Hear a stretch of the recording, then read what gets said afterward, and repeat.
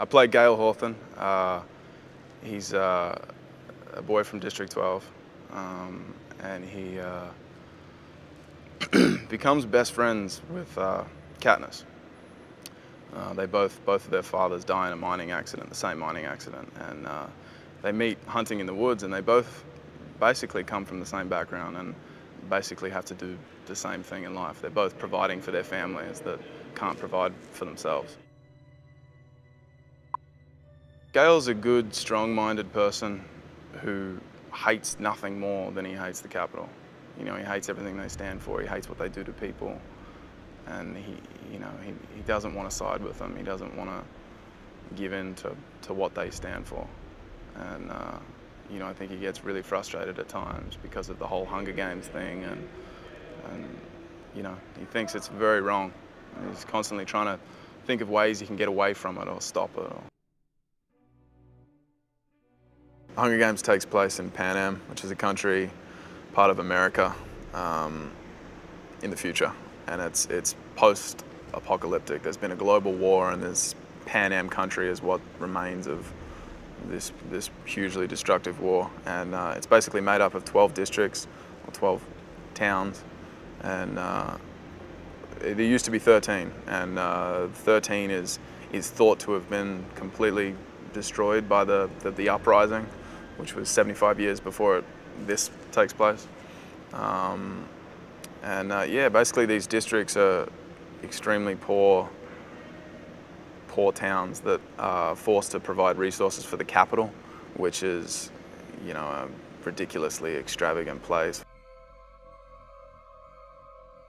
I think she trusts Gale more than anyone in the world, you know, and she's constantly changing her mind about who she can trust and who she thinks she trusts and who people are really. And I think for her, he, he's always been completely honest and she knows that.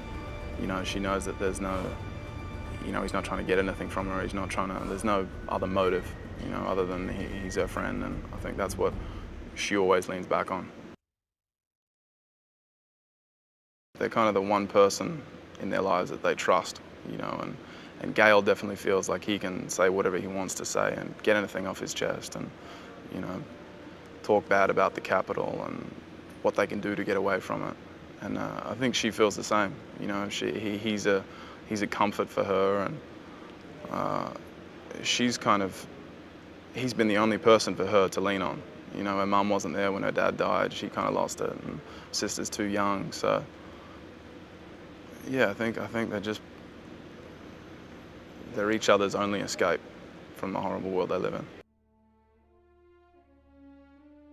Jennifer Lawrence plays Katniss, and uh, she's, I mean, she, she, I think she could do anything she wants. She, she's an amazing actress. I saw Winter's Bone, which she, she did a while ago, and uh, she's, she's phenomenal in that. I don't think, you know, it's a similar character to that, that story. You know, she, she has to provide for a family and, you know, do what she needs to do, and uh, I think if anyone's gonna do it, she's gonna do it. Willow Shields plays Prim, uh, Katniss' younger sister. And uh, she's, uh, little kids really get me. I mean, they've worked with little kid actors before and when, when they start out, you know, crying or anything like that, it makes, makes my job so easy because you just, you react to, you know, a little kid crying. There's not much else to do.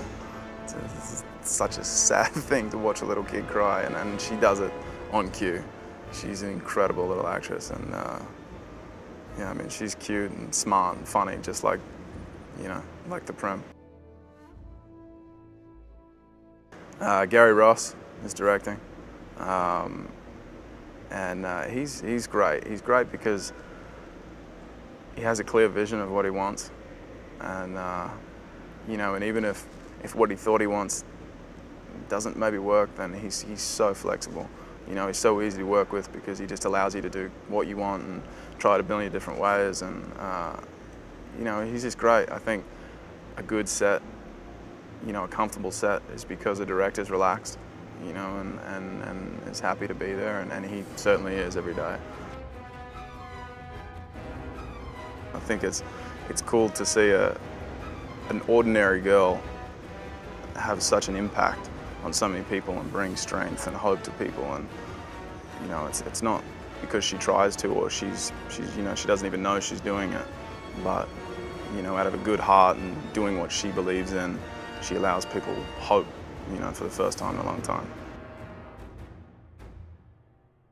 Because of the character Katniss. I mean, she's, you know, she's an ordinary girl that grew up in a, a bad world, and you know, she does things simply. She does what she needs to do, and she doesn't do it for any other reason than because she has to. And, uh, you know, without even meaning to, she, she gives people hope and, and strength to, you know, to fight back.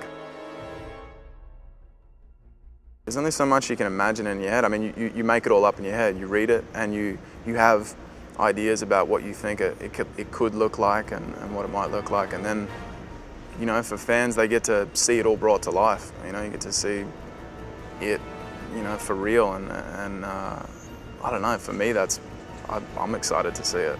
You know, reading the book and having all these images in my head of what's going to happen and how it's going to look, it's, I can't wait to see it all. I think, uh, you know, the, the movie also, I think, it's cool because you, in the book, it's, it's all played very much from her perspective. And so is the script, but also you get to see a little more of, of what happens around her and with other people, um, which you don't really get to see in the book. So, so I think that'll be cool.